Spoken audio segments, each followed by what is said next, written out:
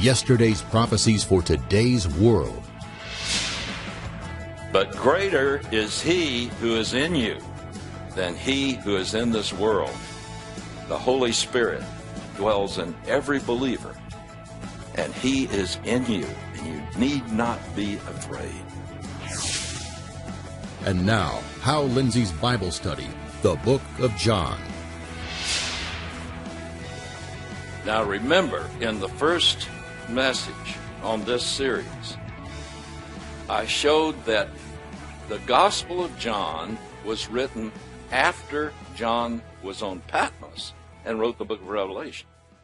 The Gospel of John is the last book of the Bible, last book of the New Testament to be written. And so I want you to think about tonight why John writes about Jesus in this lofty,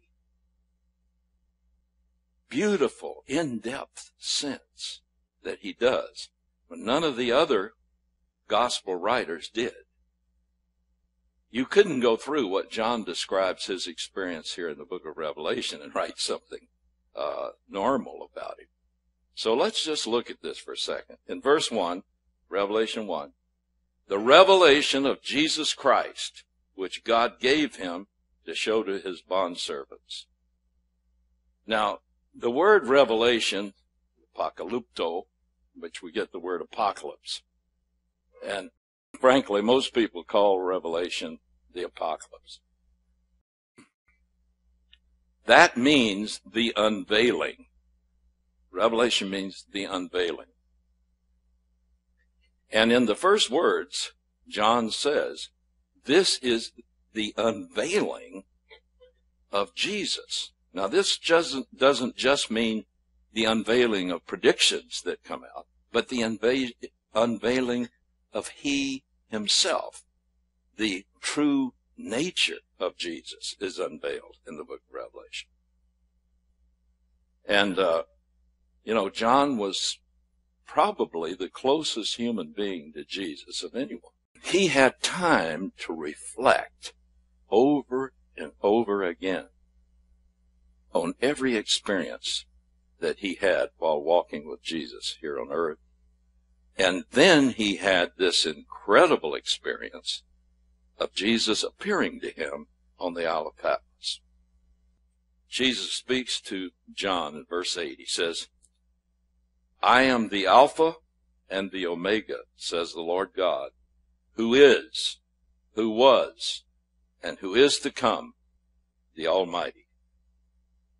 And then John describes, I am his purpose. I am John, your brother and fellow partaker in the tribulation and kingdom and the perseverance which are in Jesus, and was on the island of called Patmos because of the word of God and the testimony of Jesus. I was in the Spirit on the Lord's day, and I heard behind me a loud voice like the sound of a trumpet, saying, Write in a book what you see and send it to the seven churches. And he describes those. And then he says, verse 12, I turned to see the voice that was speaking with me. Having turned, I saw seven golden lampstands. And in the middle of the lampstands, one like a son of man, clothed in a robe reaching to the feet, and girded across his breast with golden girdle. That's the, that is the uh, uniform of a priest. And his head and his hair were white like white wool, like snow, and his eyes were like a flame of fire, and his feet were like the burnished bronze when it has been caused to glow in the furnace and his voice was like the sound of many waters. And in his right hand he held seven stars, and out of his mouth came a sharp two-edged sword, and his face was like the sun shining in its strength. And when I saw him, I fell at his feet as a dead man. And he laid his hand on upon me and said, Do not be afraid. I am the first and the last, the living one. I was dead. Behold, I am alive forevermore. I have the keys of death and Hades. Write therefore the things which you have seen, and the things which are, and the things which will take place after these things. All right, now, John, who, humanly speaking, was the closest person to Jesus, even he was so overwhelmed by the appearance of Jesus to him that he fell as a dead man.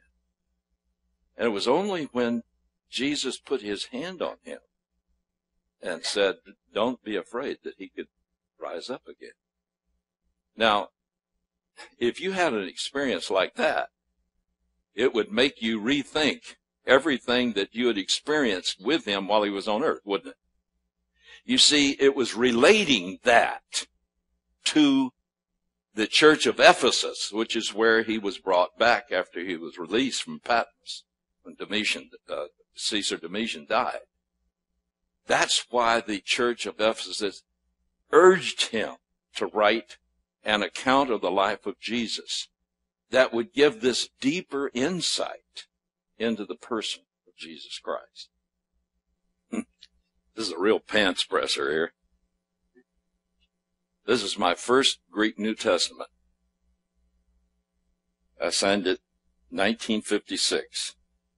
Now I'm going to read the Greek with the inflection of the ancient Greek. In, in Greek today, they make no distinction between a long E and a short E, or a long O and a short O.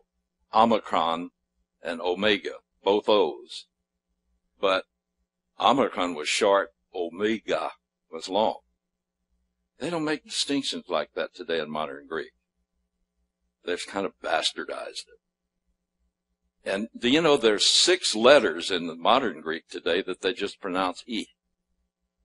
But in ancient Greek, and this is why they were such great orators, they could, they could speak nuances of thought by the distinction of, for instance, the uh, long E, which looks like an H with a long tail on it, A, versus epsilon E. And uh, all of that is brought out in this first text. Now, I want to remind you of something else too. That if you're just beginning Greek, just beginning to learn it, the best place is to start in John chapter 1 verse 1 because it's the simplest Greek imaginable. I mean, a, a, a young child first learning Greek would be able to read this. That's why only the Holy Spirit could have written this through John. Because he takes the language of little children and, and uh, he teaches the deepest thoughts that our minds can ever grapple. So here is the first verse. In arche en ologos. Kai ologos en proston theon. Kai theos en ologos. Utos en an arche, proston theo. First two verses. Now these, I'm going to take paragraph by paragraph. Because this is a beginning of uh, a view of Jesus Christ that is heavenly higher than anything else written. You know, it's uh, it's traditional for all philosophers when they begin. A, great philosopher begins a uh, philosophy of his own philosophy of of the worldview and life and so forth they they will always try to go back to the most irreducible beginning or thought or the most absolute concept that they can start it and lay a foundation on which they will then go on to present their philosophical worldview. And one of the greatest human thinkers as a philosopher was Aristotle. Aristotle began his philosophy by saying, there is an unmoved mover. You see, he didn't know there were gods of every kind in the Greek culture. But he said there was something else. There was, uh, in, in this panoply of gods, there was one that was the unmoved mover of everything. And so that was his profound beginning. And then you have many other philosophers who started out with their foundation until it degenerated into the 18th century, where men had gone far away from philosophy of the past that assumed that there must be a God. Because then uh, Descartes started out with the Cartesian principle, as it's called. I think, therefore I exist. He started with himself. See, see how human thought degenerated. Well, John starts out, here's an uneducated fisherman. Greek is his second language. Third language, probably, because he spoke Aramaic and Hebrew as well. But uh, he begins in the language of children his philosophy of life, and it is the most profound thoughts ever uttered. First, look at your English, the first paragraph. In the beginning was the Word. Okay, there, this is something you have to learn, and I think if you bought that very helpful book by Tenney, John the Gospel of Belief, in the introduction, he brought out the fact that Greek is a language that you can uh, never translate in a close uh, verbal translation because some of the words require uh, a long explanation. It's just not something that you can write in brief in brevity. So that is true, and here's why I want to take this clause point by point. First of all, like it says in the English, in the beginning was the Word. There is no definite article in the original before the word arche, or beginning. Now, whenever the Greeks left a definite article out, it was never to be translated a beginning. The fact that it's not a definite beginning and it draws attention to the beginning, the word beginning itself means you are to think way back now in beginning. Which beginning? Whatever beginning you can conceive.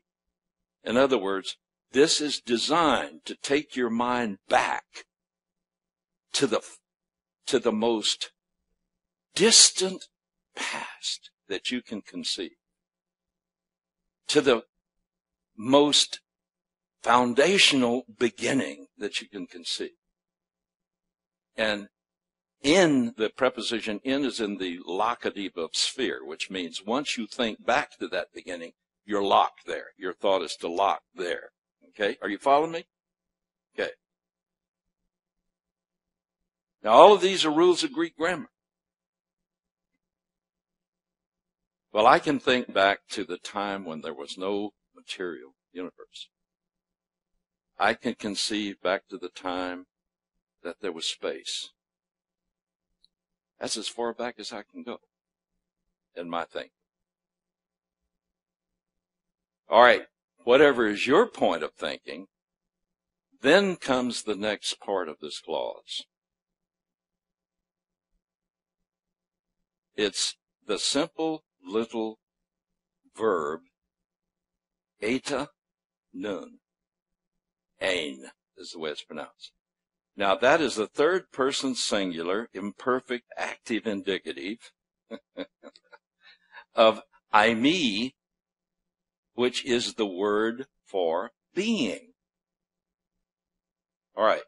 Now, this word for being is inherently something that continues, isn't it? Being means something that is existing, okay?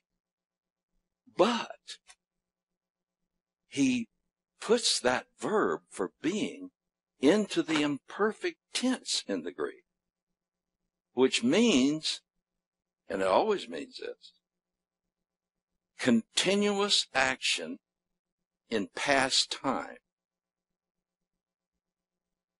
All right, now link that to the first part of this clause. In beginning, all right, you've already thought back to the farthest point you can conceive. All right, there's where you lock. And then the verb, continuous action in past time, starts from there. And so what it is saying is simply this. In beginning, the farthest point back that you can conceive, there continuously existed. In other words, before any beginning you can conceive, there continuously existed halogos, the word. Now, is there any way of saying, are you all following me? Is there any way of saying more emphatically that this person called the Word never had a beginning? That's what it means. Any beginning you can conceive, he was continuously existing before. And then he brings in this concept, and it's an incredible concept. Hologos. Definite article, ho, logos, the word. The makes him unique. Now there are several words in Greek for word. Rhema, for instance, means the spoken word. Logos, however, looks and emphasizes the thought behind the word. It's, it's about the word, but it's the thought behind it too. Now, you have to realize that this title, it's a title for the second person of the, of the Godhead and Jesus. Okay? It's a title. Now, why does God call him the Word?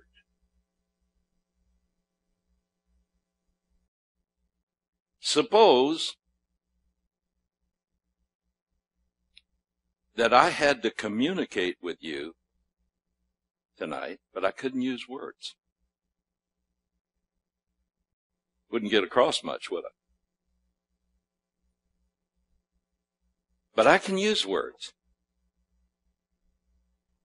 And what are words? You look and you see me. To some grotesque. However, but you see me. But you don't see the real me, do you? The real me is inside this body. The real me is invisible.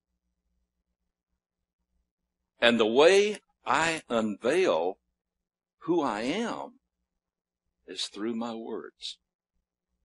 You follow? That's why this beautiful title is given to Jesus. Because you see, he is the second person of the Godhead. I'll show you why I say that in a minute. And however the triune God reveals himself, it's always through the second person, whether it's an action, a, a visible appearance, a voice, or whatever. The only visible, knowable expression of God always comes through the second person. And that's why he's called the Word, because he reveals the invisible God. Whatever can be known outside of the Godhead is always revealed through the second person. Follow me? Isn't that wonderful? Isn't that profound? I mean, these are the words of children, and yet they go beyond any philosophy man could ever create. All right, so the first clause tells us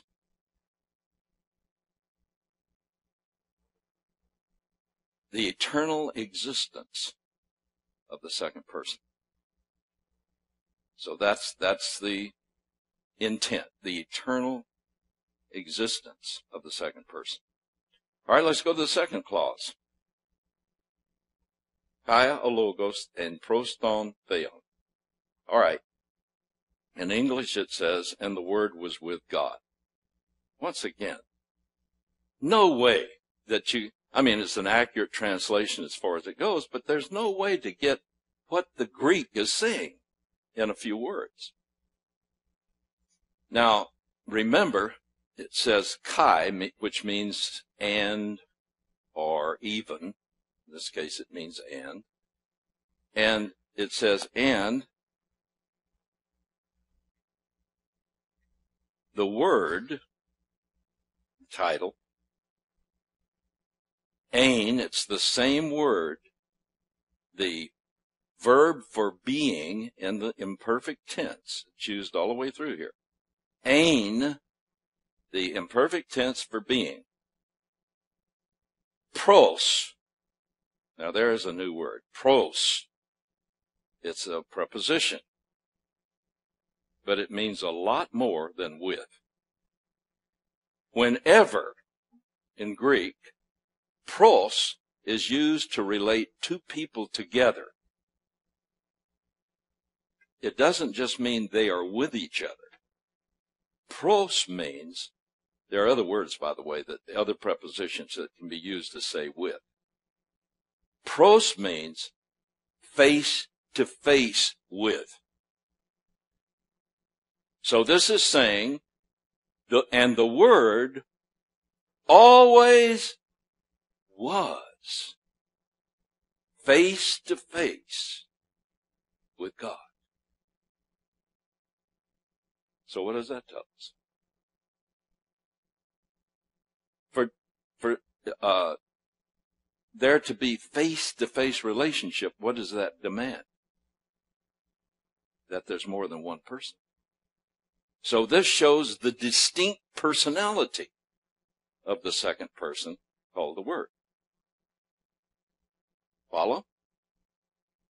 So, this person called the Word always was. Eternally. Face to face. with God the Father. First person. So he's always in this intimate, face to face relationship with him. So that gives us, again, the distinct personality of the second person. All right, now let's go to the third clause. Kai, kai theos, ein, there's that imperfect tense again. Kai theos, ein, ologos. And as it says in the English, and the word was God. All right. Theos is the word for God and kai theos ein hologos. Now, it's important to note that the order of words, the syntax of Greek, puts the most important thought at the beginning of a sentence because they have inflection in the uh, declension in the nouns and uh, pronouns and uh, adjectives and so forth. They can put it anywhere in the sentence and you can know where it goes, what it modifies. Uh, but here is the important thing. There is no definite article before God Now, if you've ever been confronted by the Jehovah Witnesses at your door, they always try to say, it doesn't say the God, it says a God. And the word was a God. And then they'll come on, he's the son of God. So if he's the son of God, he had to have a beginning, he had to be born, etc., etc. Well, they can add on to all of their heresy. But one thing for sure, they do not know Greek. Remember, absence of the definite article draws attention to the essential essence and meaning of the noun that the article is left out. So here, the way this should be understood is, and the Word, as to his essence, always was God. Join us next week for the continuation of Hal Lindsey's Bible study of the book of John. The moment you believe in Jesus Christ, you become God's possession. You are bought with the blood of Jesus Christ. You can't earn it. You can't deserve it. You can't buy it. And you can't lose it. Because if you could, you would. As I prepared for this week's program, I was again struck by the speed with which events are moving into the scenario the prophets predicted for the end times. I believe we're there. People on the street are talking about what all of these things mean. Folks that wouldn't darken the door of a church pick up a, a Bible are now very curious. This may be our greatest opportunity, maybe even our last opportunity to share the gospel of Jesus Christ before we're silenced by political correctness. The message that God has given me is more important now than it's ever been for the church and for the nation. That's why I'm asking you to help me to expand our reach. You can find more of Hal Lindsey at his website, www.hallindsey.com. There you can access our video and article archives Visit our online store for Hal Lindsey CDs, books, and other specialty items. To support this program, send your tax-deductible gift to Hal Lindsey Media Ministries, P.O. Box 470470, Tulsa, Oklahoma 74147. You can also support this ministry online. Visit hallindsey.com or call 1 888 Rapture.